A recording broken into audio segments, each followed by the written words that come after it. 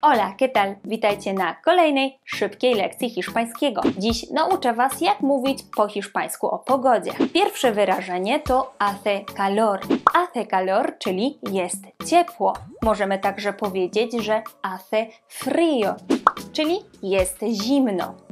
Z czasownikiem hace możemy także użyć rzeczownika viento, czyli wiatr. Hace viento, wieje wiatr. Hace sol z kolei oznacza, że jest słonecznie. Jak widzicie, jeżeli mówimy o pogodzie, bardzo często używamy czasownika hace, ale uwaga, jeśli chcemy powiedzieć, że niebo jest zachmurzone, to powiemy está nublado. Chcesz uczyć się hiszpańskiego właśnie ze mną? Zapraszam Cię na mój kurs dla początkujących Hiszpański Start. Szczegóły w opisie.